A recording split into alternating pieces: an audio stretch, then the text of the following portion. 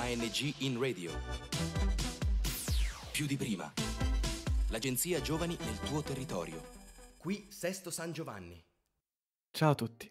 Questa intervista si colloca all'interno del progetto ANG in radio, proposto da Agenzia Nazionale Giovani. Noi abbiamo rinominato il nostro presidio radio Sesto San Giovanni, Lives Matter, le vite contano. Quello che andrete ad ascoltare è un estratto di un'intervista con Marco Crepaldi, psicologo sociale e fondatore dell'associazione Ikikomori Italia. Buon ascolto. Andiamo a parlare appunto del, dell'oggetto di studio, quindi anche del motivo per cui oggi ci troviamo, ovvero appunto la questione dell'ikikomori. E essendo un termine magari sconosciuto, adesso sicuramente anche grazie al tuo contributo è più conosciuto, però scommetto che ci sono persone che ancora non hanno idea bene di cosa si tratti, di cosa significa esattamente, quindi la domanda appunto che sto per fare è quella sempre ovvia, però mai comunque non rilevante, che è cos'è un Ikikomori?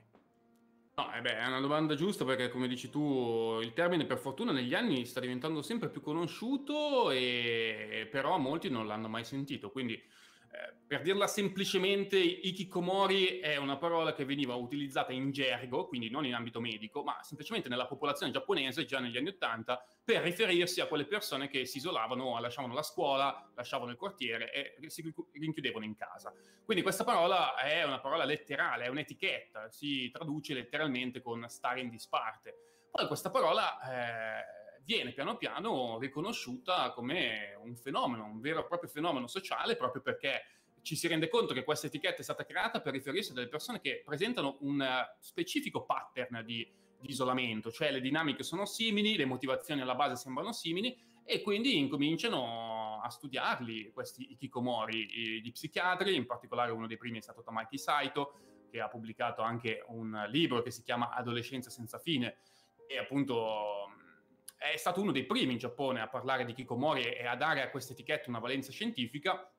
E poi appunto questa parola è incominciata a essere eh, di interesse in tutto il mondo, perché se è vero che il Giappone ha dei numeri altissimi a causa di una cultura che favorisce particolarmente lo sviluppo di questa sindrome, chiamiamola così, di questo disagio sociale, eh, anche nel resto del mondo, in particolare in Italia, sembra che ci sia terreno fertile affinché questo tipo di manifestazione di disagio adattivo sociale prenda piede. E eh, i perché sono ovviamente sarà oggetto di questa discussione, ma eh, diciamo che la parola Ikikomori nasce come semplicemente una persona che si isola, ma oggi si sta evolvendo sempre in un concetto più ampio, che anch'io ho cercato di ampliare nel mio libro e mie, eh, nei miei video, nei miei articoli, cercando di spiegare perché questa persona si isola e perché questo isolamento è diverso da tutte le altre forme di isolamento, perché ovviamente non è che l'isolamento sociale è nato oggi, ma oggi sta nascendo una particolare forma di isolamento sociale con de- delle determinate caratteristiche e merita un termine nuovo proprio perché è una forma di isolamento che non, ha, non, non, esisteva fino a non molti anni fa o comunque non esisteva su scala macro-sociale, quindi esisteva magari in pochi singoli casi sporadici, M- mentre oggi in Giappone si parla di più di un milione di casi e in Italia di centinaia di migliaia di casi. Anche qui diciamo un po' similmente a prima, vorrei provare a fare un attimino un passo indietro, anche qua terminologicamente parlando, diciamo, ovvero sì. tu hai, hai, utilizzato, mi sembra, il termine disagio sociale o disturbo sociale comunque, giusto? Il riferimento ah, a... Secondo me la, de- la definizione princi- eh, più precisa di Kikomori è disagio eh, disadattivo sociale. Disadattivo nel senso che è una difficoltà dell'individuo di adattarsi al contesto sociale, che non significa che sia di per sé patologizzato l'individuo, si potrebbe anche patologizzare viceversa il, l'ambiente sociale. Cioè, il punto è che c'è questo individuo che non riesce più a stare in questa società. E qual è, quale dei due ha più colpa, diciamo, poi andrà approfondito. Certo, Però certo. tutte e due hanno delle colpe, quindi è un disagio adattivo di tipo sociale. Ma in questo senso anche qua cosa distingue un, di, diciamo una condizione o meglio una, una fattispecie tipo questa, quindi dell'ikikomori da altri tipi di disagio magari psicologico, mentale, cioè qual è la differenza anche qui a livello di termine essenzialmente? Allora, sì, sicuramente sarebbe più corretto dire disagio psicosociale, ecco, quindi okay. l'aspetto psicologico c'è sicuramente. L'ikikomori viene differenziato da allora, si fa un, spesso una diagnosi differenziale nell'ikikomori, ma in realtà è sbagliato perché l'ikikomori di per sé non è una diagnosi, è una modalità di isolamento, una, mod- una modalità di rifiuto della società che ha due caratteristiche abbastanza peculiari. La prima origina da una difficoltà di relazionarsi, quindi una difficoltà relazionale e di percezione delle relazioni. Quindi l'Ikikomori fatica a trovare beneficio, fatica a trovare piacere, soddisfazione dalle relazioni interpersonali.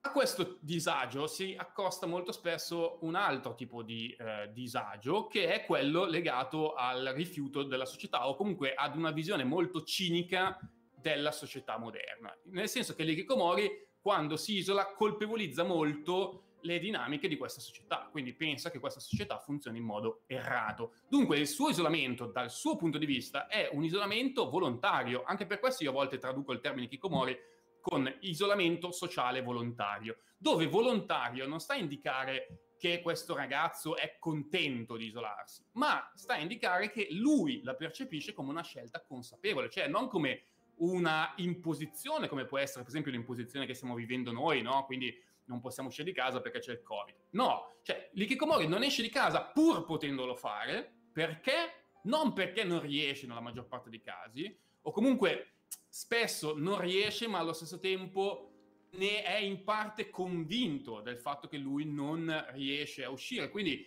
diciamo che c'è una sorta di razionalità in questa scelta, in questa condizione, che rende l'Ikikomori particolare, che rende l'Ikikomori anche a livello motivazionale diverso dalle altre forme di ritiro. Per esempio, un depresso, io mi lascio con la ragazza, vado in depressione, mi viene un trauma, è molto comune, eh, non sto scherzando, è molto grave a volte il trauma lasciato dalla fine di una relazione.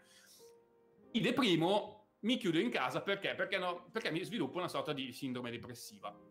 Ecco, in questo caso non mi sto isolando perché non riesco a relazionarmi con gli altri, ho sfiducia nelle relazioni, ho vissuto delle relazioni negative, penso che la società sia malvagia, penso che la società sia sbagliata, non mi riconosco nei valori sociali e eh, nei valori appunto della società moderna. Queste sono caratteristiche che una persona che si isola perché cade appunto in un trauma depressivo di solito non ha. Mentre l'Ikikomori ha spesso tutta questa serie di pensieri legati appunto alla, alla sua scelta dell'isolamento. Dunque, eh, in questo caso parliamo di due isolamenti diversi, un isolamento prettamente depressivo e un isolamento invece dettato da delle, mh, mm, una sfiducia e da, da, un rifiuto delle relazioni particolarmente pervasivo. Quindi diciamo che l'Ikikomori non si sente apprezzato, non si sente ben voluto, non si sente coinvolto da questa società e quindi decide di isolarsi. Questa è una condizione che non, non, crea per forza una nuova categoria diagnostica, perché poi nell'ikikomori coesistono magari depressione, fobia sociale, eh, dipendenza da internet, eccetera, eccetera. Quindi coesistono magari diverse patologie.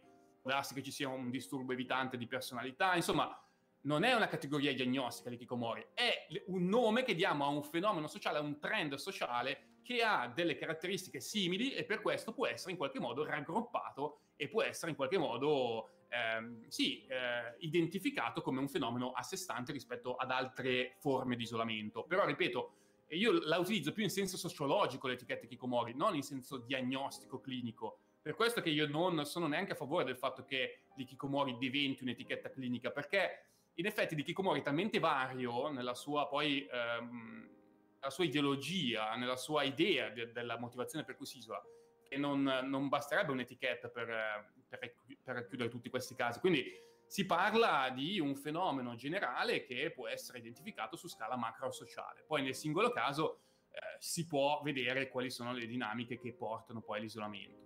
Perfetto, poi sì, magari sulle cause, i fattori che portano all'isolamento volontario, così come l'hai appena descritto, ci soffermiamo dopo. Volevo un attimino appunto parlare della, sì. dell'eterogeneità, della estrema varietà appunto delle persone che rientrano in questa definizione, così come era, tu l'hai detta appunto, ok, vi è un'estrema diversità, però allo stesso tempo quali sono, ci sono delle caratteristiche che sono comuni, al di là delle cause, ovviamente tu hai adesso menzionato la, le, pressioni sociali, la paura appunto del giudizio, altre cose, però al di là delle cause ci sono delle caratteristiche che possono comunque creare anche magari dei sottotipi di Kikomori, non lo so.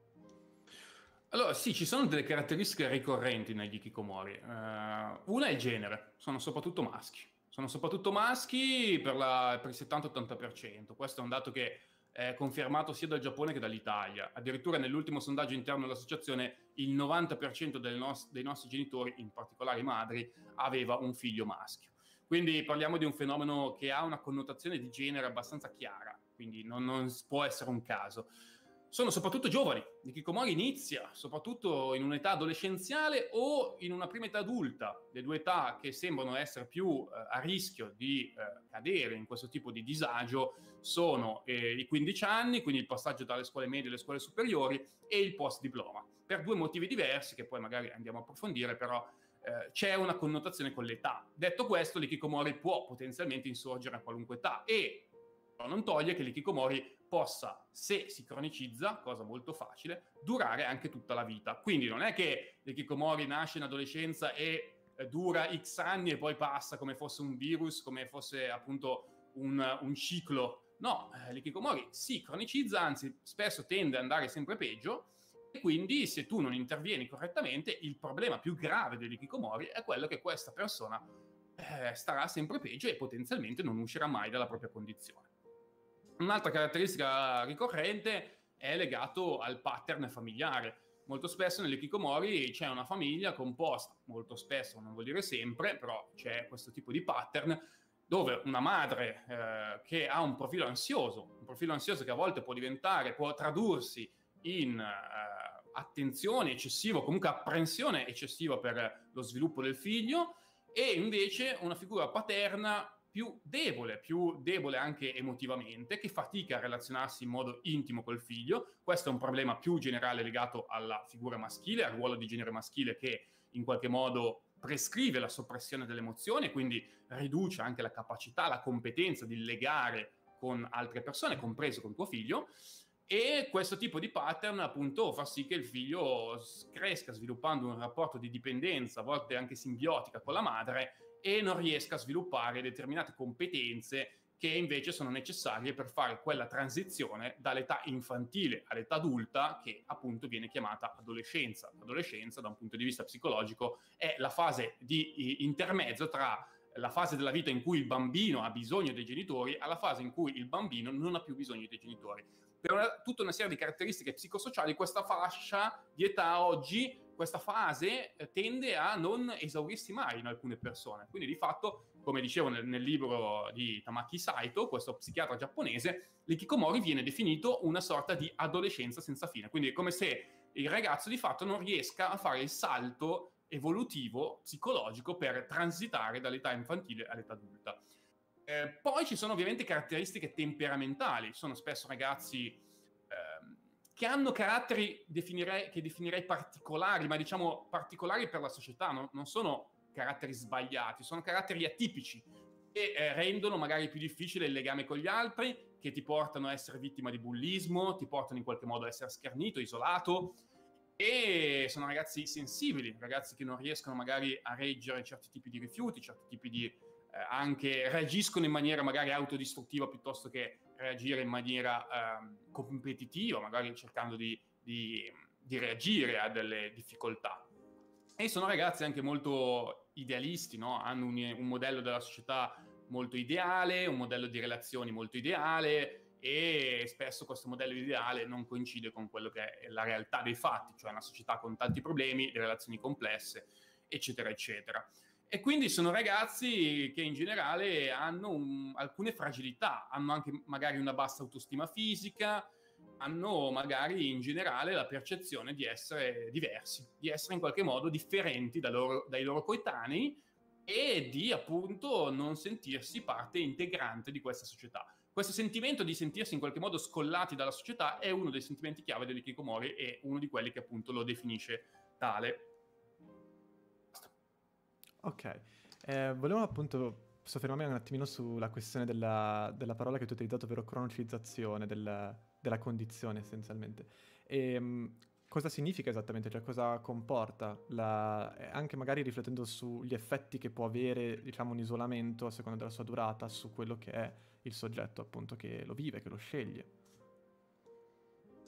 Ma la cronicizzazione è appunto uh, il fatto che il problema dell'ikikomori autoalimenta il problema. Cioè è un, un, classico problema psicologico circolare, nel senso che il problema stesso ti impedisce di risolvere il problema. Capita spesso anche nella depressione, per esempio, cosa, condizione tra l'altro che spesso si associa all'ikikomori, perché spesso l'ikikomori ha anche mh, una forte componente depressiva. Però ecco, eh, l'ikikomori ti porta a stare da solo, ti porta a non fare esperienze e questo blocco delle esperienze ti porta anche a un appiattimento della tua capacità di miglioramento, perché l'essere umano migliora attraverso le esperienze. Se un essere umano non fa esperienze tenderà spesso ad appiattire anche la propria evoluzione, la propria capacità di miglioramento.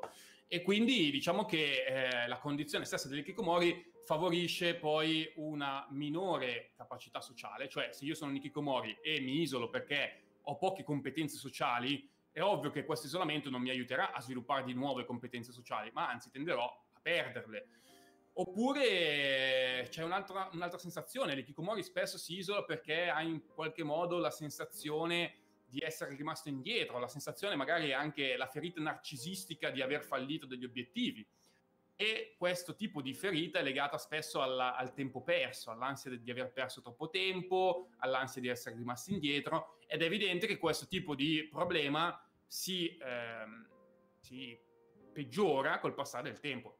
Cioè un ragazzo che si isola a 15 anni e a 20 anni, a 18 anni, cosa non assurda perché molto spesso gli isolamenti durano anche in media in Italia dai 2, 3, 5 anni, Ovviamente dopo tutto questo tempo il ragazzo avrà ancora più l'ansia di essere rimasto indietro, magari non ha preso il diploma, magari era anche il più bravo della classe e però non riusciva a, appunto a relazionarsi con gli altri e questo l'ha portato ad abbandonare la scuola, quindi doppia beffa, no? oltre al fatto che non, non, ti sei diplomato eri anche magari uno dei più bravi.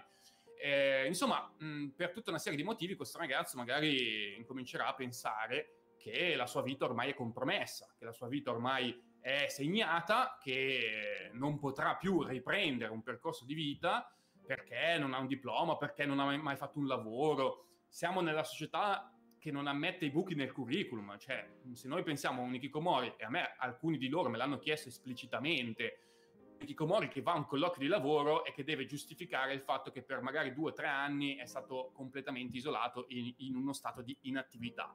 Beh, questa società non ammette questo tipo di buco nel proprio percorso di vita, quindi diciamo che è un'onta, una, una condizione talmente umiliante che il ragazzo non riesce a affrontare e che non riesce né ad accettare né a pensare che gli altri possano effettivamente accettarla come una cosa tutto sommato normale o comunque non così folle. E dunque di Kikomori si lascia andare, si lascia alla deriva. Ehm, e questo tipo di deriva comporta anche un annullamento della percezione del tempo, dello scorrere del tempo, che viene magari in qualche modo anche abbattuto attraverso l'abbassamento delle tapparelle, quindi la non percezione dello scorrere del tempo, l'annullamento del ritmo circadiano, quindi del ritmo sonnoveglia. Eh, c'è tutta una serie di strategie psicologiche e eh, anche pratiche per evitare di percepire lo scorrere del tempo, quindi evitare la sensazione di eh, perdere ulteriore tempo sulla propria tabella di marcia, perché non l'abbiamo detto, ma l'ikikomori è fondamentalmente determinato dalle pressioni sociali, cioè dal, dall'ansia di realizzazione personale, questa è una cosa importante, cioè dal fatto che cioè, un ikikomori soffre a livello macrosociale quest'ansia del successo personale, questa ansia di doversi realizzare e dunque il fatto di non starsi realizzando mentre si è in isolamento viene in qualche modo oscurato, negato attraverso tutta una serie di tecniche che poi però portano l'ikikomori appunto a um, perdere contatto con la realtà, perdere contatto con lo scorrere del tempo e lasciarsi a una deriva che porta poi a una cronicizzazione, porta poi a una condizione in cui il ragazzo o la ragazza non sa più come uscire perché appunto si è protratta per talmente tanto tempo che è diventata una sorta di gabbia,